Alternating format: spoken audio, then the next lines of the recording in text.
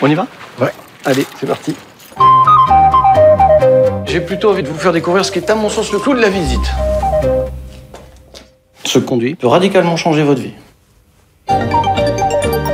Quand on descend dans ce conduit, C'est quoi l'embrouille avec ce conduit, sans déconner. Laisse-le parler, tais-toi. quand on descend dans ce conduit, madame, monsieur, écoutez bien parce que c'est vraiment quelque chose. Bah, dites-nous quoi, merde. Quand on descend dans ce conduit, vous n'allez pas me croire, et pourtant c'est la vérité.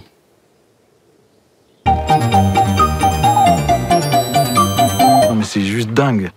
Et alors, c'est pas tout.